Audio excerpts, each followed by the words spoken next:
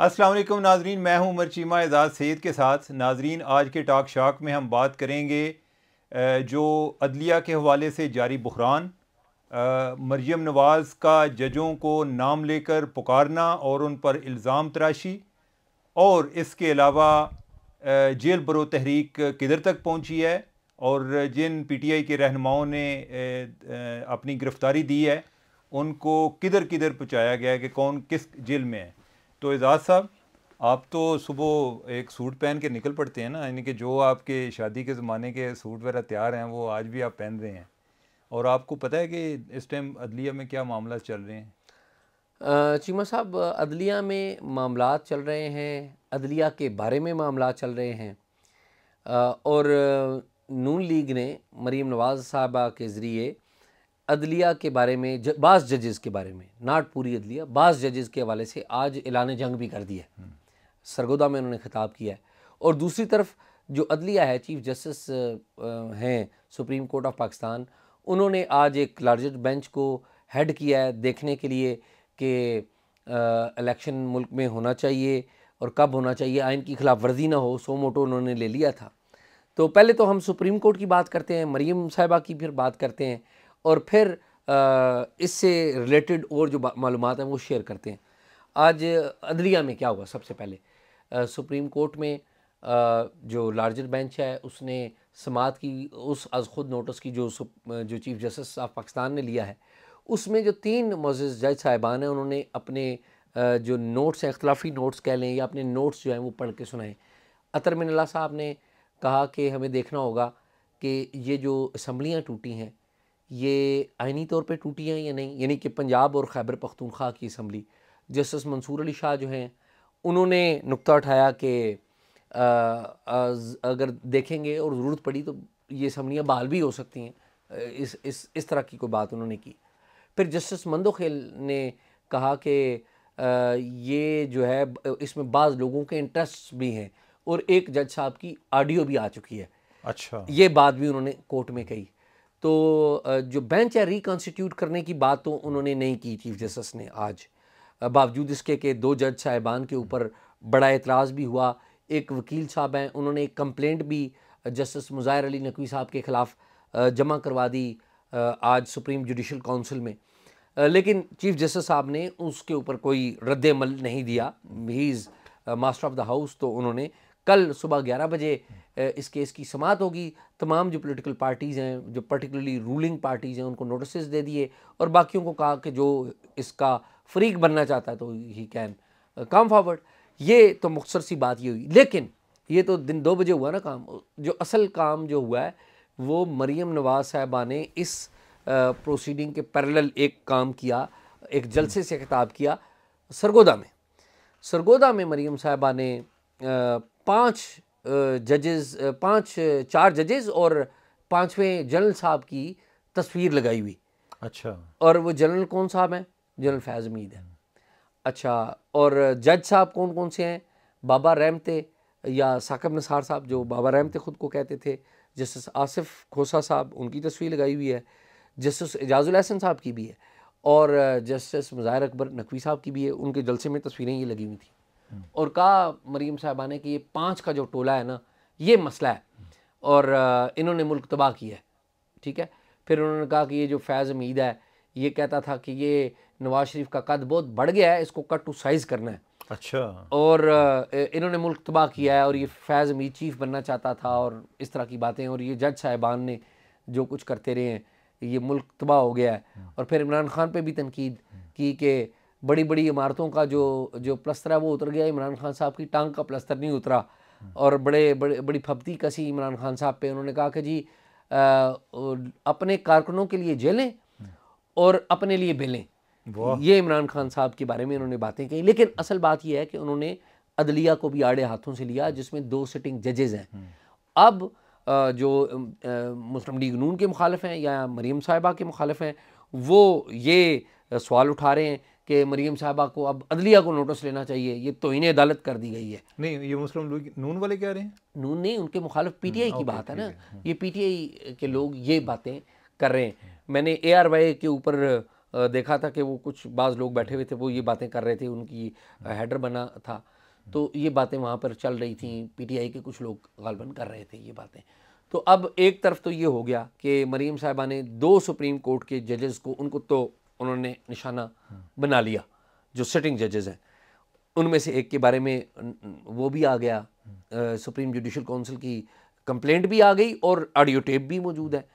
तो अब देखना यह है कि क्या बेंच रिकॉन्स्टिट्यूट होगा या नहीं होगा।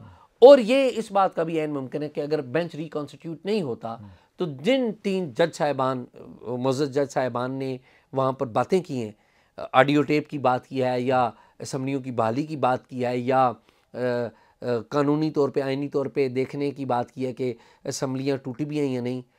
तो मुमकिन है उनमें से, और ये वो जज साहिबान हैं जिनके बारे में ये इतलात भी हैं कि ये जो जस्टिस मुज़ाहिर अकबर नकवी साहब हैं उनके साथ बैठने, उन बेंच में आने से मोतरज भी रहे हैं, जब से ऑडियो टेप का मामला आया है। तो अगर फ़र्ज़ करें कि इन जज साहिबान ने खुद ही अनाउंस कर दिया कि जी हम नहीं बैठते। तो तभी वो यानी कि इन तीन जजेस की बात कर रहा हूँ मैं मुज़ाहिर अकबर नकवी साहब की और जस्टिस जो एजाज साहब की बात नहीं कर रहा हूँ। क्योंकि अगर उन्होंने एतराज़ करना होता तो मेरे ख्याल में वो तो खुद ही ना बैठते। आज बैठे हुए बैठे हुए थे इसका मतलब है ही दे वॉन्ट टू कंटिन्यू वो उनको इस बात पे एतराज़ नहीं है कि लोग उन पर एतराज़ कर रहे हैं ठीक है यानी वो नकवी साहब ये चाह रहे हैं कि वो मैदान खुला नहीं छोड़ना चाह रहे हाँ वो कहते हैं मैं रहूँगा हाँ। और एजाजुल एहसन साहब भी। हम्म। बावजूद इसके कि हाँ। पार्टियों ने उनके ऊपर अदम अतमाद कर दिया। और इससे भी बड़ की बड़ी बात यह है कि चीफ जस्टिस साहब जो हैं जो कि सारा हाउस चला रहे हैं उन्होंने भी मुनासिब नहीं समझा कि इन जजेस को अलग कर दिया जाए ताकि जो है ट्रांसपेरेंसी या शफाफियत नज़र आएगी उनकी अपनी एक ज़र है उनके पास इख्तियार है। ट्रांसपेरेंसी नज़र आएगी तो वोट कम हो जाएँगे। बिल्कुल लेकिन तो है ना कि कि जितनी एक अदलिया भी डिवाइडेड है तो हाँ। आपको पता है कि किस कौन क्या ओपिनियन रखता है। जी हाँ। तो आप देखें ना जो सीनियर जजेस हैं इस इसका भी गलबन ज़िक्र किया गया आज कि जो सीनियर जजेस हैं जस्टिस जो जो, जो, जो हैं काजी फाइज ईसा या दूसरे जजेस वो उन वो वो बेंच का हिस्सा नहीं है। तो बड़ी हैरान कन बात है। और ये ओवरऑल इंसाफ के लिए अच्छी बात नहीं है। जिस तरह अदलिया का, का के ऊपर सवाल आना टेप्स आना उनका कंडक्ट सामने आना फिर एक जज साहब के बारे में उनके असासों के बारे में बात आ जाना मुजाहिर अकबर नकवी साहब के बारे में जो कंप्लेंट दायर की गई है कि जी इन्होंने बहुत ज़्यादा असासी आमदन से जायद बनाए हैं। तो ये ओवरऑल अदलिया के ऊपर एक एक एक जिसे कहते हैं ना सवाल उठता है कि अदलिया बताते खुद उसका ट्रायल हो रहा है। अदलिया का ट्रायल हो रहा है। अदलिया हालाँकि ट्रायल करती है और अदरवाइज़ अदलिया ट्रायल ना भी करे तो अगर कोई तनाज़ा हो जाता है पाकिस्तान में सियासी जमातों का या हुकूमत का आपस में या कुछ और लोगों का तो अदलिया तो फैसले कराती होती है लेकिन अभी इस मामले में तो यूँ लगता है कि जिस तरह अदलिया खुद कटहरे में आके खड़ी हो गई है। तो मुझे नहीं लगता कि अदलिया सा अदलिया का कोई फ़ैसला अगर होगा इस इस सूरत हाल में तो वो तनकीद की ज़्यादा मुझे मुझे लगता है कि बुहरान बढ़ता जाएगा। और मुझे मैं कहता हूँ हाँ। बुहरान बढ़ गया है नहीं नहीं आप तो कह रहे हैं ना हाँ साड़ी भी गल को ਵਿੱਚ ਪਾ ਲਓ ਨਾ ਜੀ ਤੁਹਾਡੀ मैं कह रहा हूँ बढ़ता जाएगा ठीक आप जो है यानी कि आप ये कह रहे हैं कि बढ़ गया है, है। हम इस पर इतफा नहीं कर रहे आप कह रहे हैं हम ये कह रहे हैं कि इससे बढ़ेगा ठीक है और मुझे ये लगता है कि ये जो मरियम ने अटैक किया ना ये बड़ा कैलकुलेटेड अटैक है मुझे लग रहा है कि आने वाले दिनों में कुछ और ऑडियोज आएंगी पॉसिबल है कि उसके बाद जो है ना अपना दिफा करना मुश्किल होता जाएगा। चीमा साहब, मैंने ना आज मैं सुप्रीम कोर्ट में भी था, गया हुआ था इस केस की समात के लिए। मैं चूँकि जो कमरा अदालत नंबर वन है, उसमें रश की वजह से उन्होंने मखसूस लोगों को जाने की इजाज़त दी। तो जो, जिन लोगों के नाम नहीं लिखे हुए थे तो उनको दूसरे कोर्ट रूम में बैठने का कहा गया था, जहाँ पे वाइस आ रही थी। तो मैं कुछ देर वहाँ पर बैठा तो वहाँ पर कुछ लोगों से मुलाकात हुई। तो आप जो है वो महसूस लोगों में नहीं थे? मैं मखसूस नहीं हूँ। हाँ, ये पहली दफ़ा है। तो अब हुआ ये कि मेरी कुछ लोगों से मुलाकात हुई एक दो रोज़ पहले भी आज भी जो कि बड़े वेल इन्फॉर्म्ड हैं। वो जो वो ये बात बताते हैं कि जो बाद सबक जज साहिबान हैं उनको उनकी जो मालूम उनके बारे में जो इकट्ठी हुई हैं वो बड़ी ख़तरनाक मालूम है। अच्छा। उनके जो रबते हैं बाज़ सिटिंग जज साहिबान से भी बताए जाते हैं। रिपोर्टेडली ये बात अ, अ, बताई जाती है कि है। और वो जो मालूम हैं वो हुकूमत के पास चली गई हैं। ज़ाहिर इंटेलिजेंस एजेंसियों ने पहुँचाई होंगी। पॉसिबल है ना ये? ज़ाहिर इंटेलिजेंस एजेंसियाँ ही मालूमात पहुँचाती हैं। और उसमें ये ऑडियो लीक्स के बारे में भी मैंने सुना है कि कुछ ऑडियो लीक्स और भी हैं जिसमें बाज़ जो सबक जज साहिबान हैं पर्टिकुलरली साकिब नसार साहब का नाम भी सुनते हैं। मैंने ना सुनी है टेप ना कोई उसकी है लेकिन लोग कहते हैं जो वेल इन्फॉर्म्ड ब्यूरोक्रेट्स हैं जो इस्लामाबाद में मौजूद हैं वेल इन्फॉर्म्ड लोग जो हैं वो ये बताते हैं कि साकिब नसार साहब की कुछ रबतों की कोशिशें हैं कुछ बात अगर है। साकम सार साहब का उनकी टेप होगी तो फिर जिनसे बात कर रहे हो वो भी उसमें आएँगे। ज़ाहिर है ठीक है।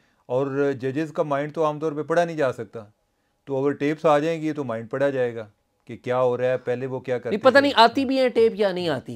ये तो लोग देखें ना वेल इन्फॉर्म्ड लोग यहाँ पर ये बातें कर रहे हैं कि इस तरह की कुछ बातें हैं। एजाज ये है कि जो है ना मेरा है कि कोई ना कुछ आने वाला है। ठीक है हमने पिछले दिनों भी प्रोग्राम में बात की थी। और जो मैंने आपको बताया था कि उसका एक लिमिटेड एडिशन लिमिटेड एडिशन का मतलब ये है कि कुछ लोगों तक वो पहुँची भी हैं अच्छा, हाँ अच्छा। हाँ।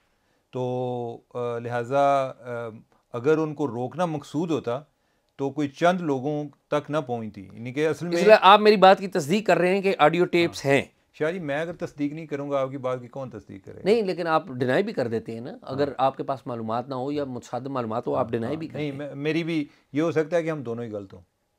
हाँ? ठीक। लेकिन ये ये है कि मैंने अलबत्ता ये सुना है कि कुछ लोगों तक गई है। और ये जो कॉन्फिडेंस लेवल बढ़ रहा है ना हम्म। और जिस तरीके से मरियम ने भी बातें की हैं।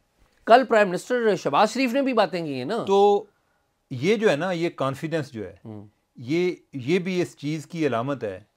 यानी कि मेरे पास जो इन्फॉर्मेशन है हमने पहले पहले इससे ज़िक्र किया होगा लिमिटेड एडिशन का।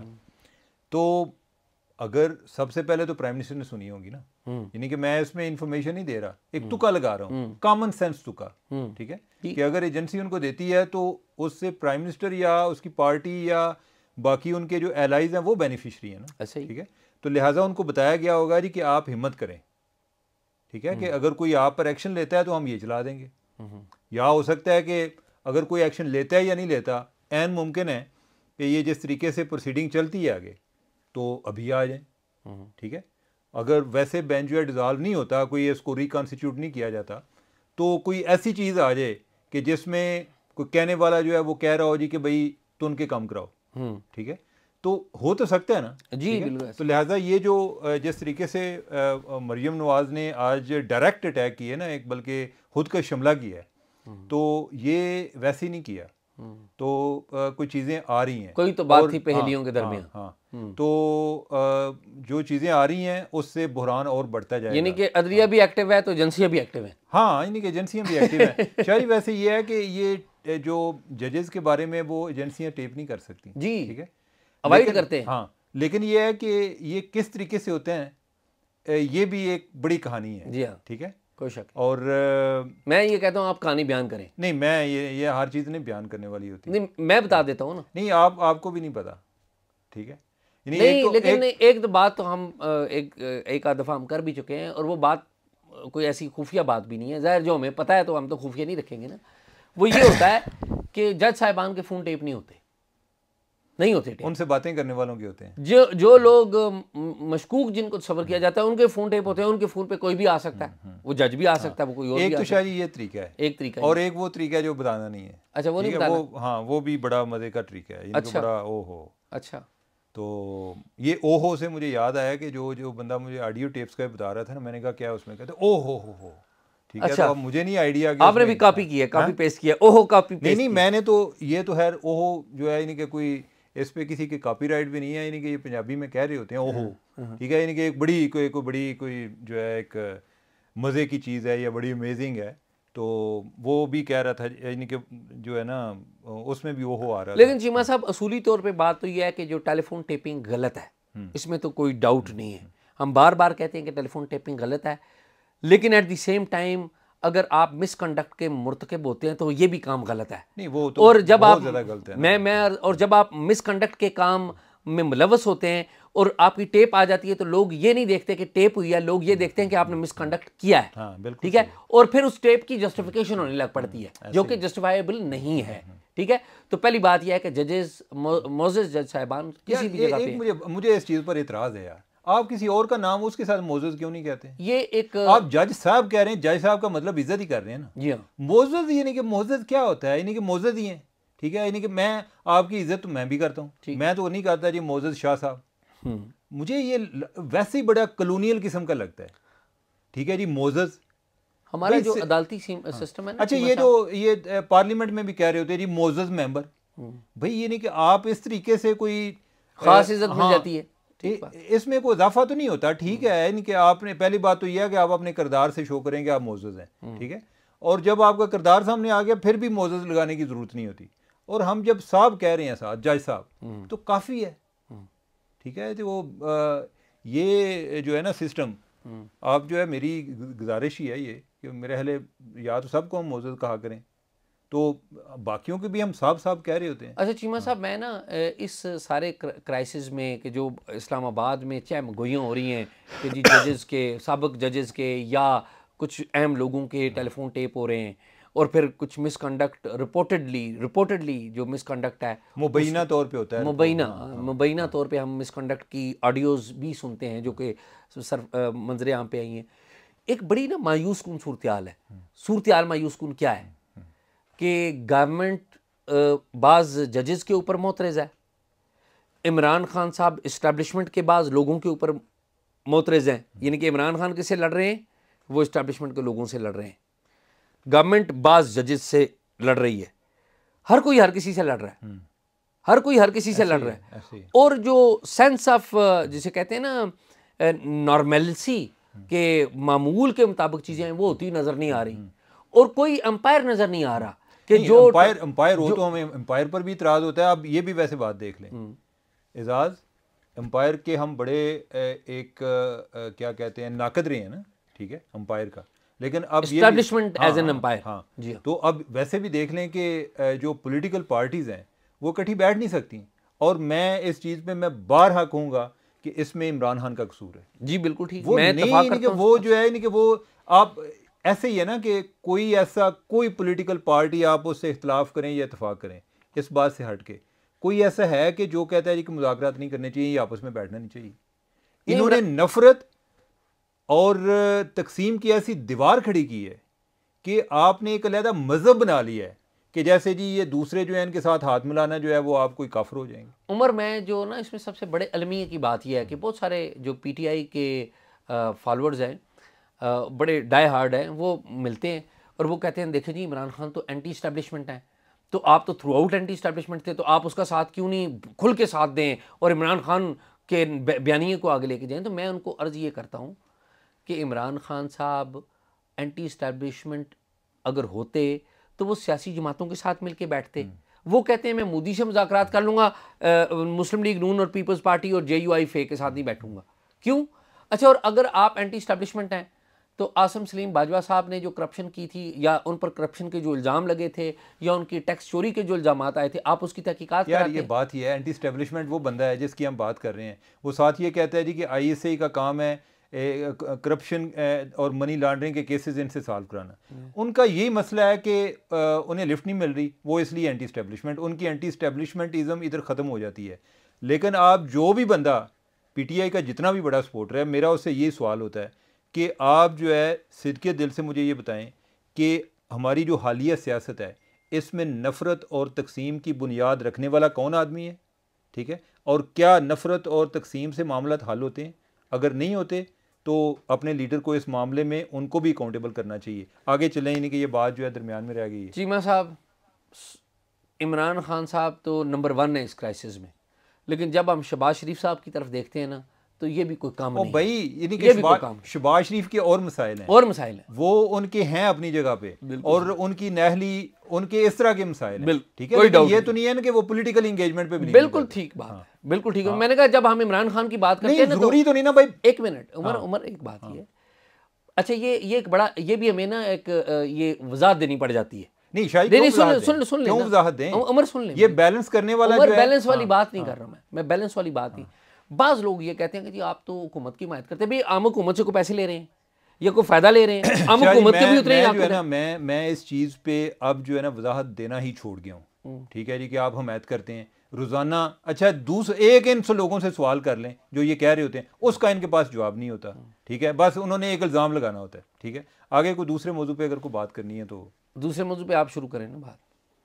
मुझे दूसरा मौजू ही भूल गया। दूसरा मौजू है जेल भरो। हाँ यार जेल देखिए ना हाँ यार मतलब कि चीमा साहब कैसी बात करते हैं आप यानी कि सबसे अहम बात जो है अच्छा जी आप जो है आपने आपने मोबाइल खोल लें। जी और हाँ। ये बताएँ इस टाइम कि आपका आपकी चिड़िया क्या कहती है कि कौन सा लीडर कौन सी जेल में चिड़िया नहीं चीमा साहब अब तो ये बात खुली हो गई है। ओके। अच्छा वैसे ना चीमा साहब कहते हैं कि किसी के जेल जाने पे खुश नहीं होना चाहिए। नहीं तो सुन तो लीजिए ना सुन तो लीजिए। जेल जाने पर खुश नहीं होना चाहिए। लेकिन खुदा की कसम, मैं ये हालत देखता हूँ तो मैं, मेरी हँसी जो है ना, मैंने बड़ी मुश्किल से कंट्रोल किया। मैं पहले हंस चुका हूँ प्रोग्राम से पहले, इसलिए मैं अभी कंट्रोल करके बात करूँगा। हुआ ये है कि इमरान खान साहब ने क्या किया है कि जेल बरो तहरीक का आगाज़ किया है। ख़ुद उन्होंने बेल लिया, ठीक है। अब जेल बरो तहरीक में उनके लीडरों ने कल गिरफ्तारियाँ दे दी। अस्सी के करीब जो लोग हैं, तकरीबन, उन्होंने गिरफ्तारियाँ दी। अब शाह महमूद कुरैशी साहब को बिठाया गया। उन्होंने अनाउंस किया पुलिस वालों ने जिस जिसने बैठना है वो वैन में आके बैठ जाए। शाह महमूद कुरैशी साहब को बिठाया गया तो शाह महमूद कुरैशी साहब उनके साथ कुछ और लोग थे तो वैन आगे चली तो उनकी जो वैन है उसमें एक डीएसपी साहब थे। तो सी C P C C P O के दफ्तर के सामने से गुजरे तो उन्होंने शाह महमूद कुरैशी साहब ने रिपोर्टेडली ये कहा कि हमें तो इधर लेके जाएँ। उन्होंने कहा नहीं नहीं अब तो आपको जेल लेके जा रहे हैं।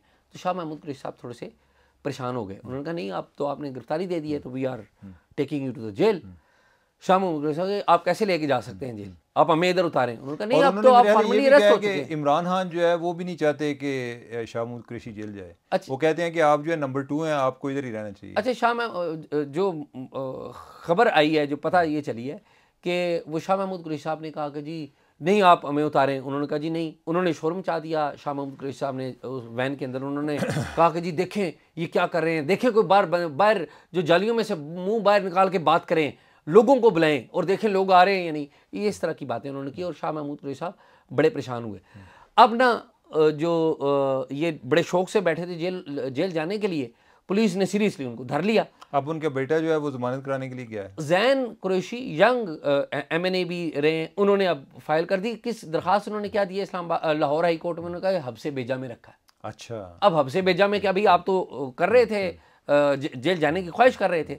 अब चीमा साहब जो अगले लतीफ़े की बात है ना कि इनके तमाम अहम लीडरों को बड़ी अहम अहम और गैर मरूफ जेलों में भेज दिया गया अच्छा याद रखने की बात यह है कि जो अडयाला जेल है और कोट लखपत जेल जो है अ, वो- ये दोनों जेलें जेल तो जेल ही होती है ना।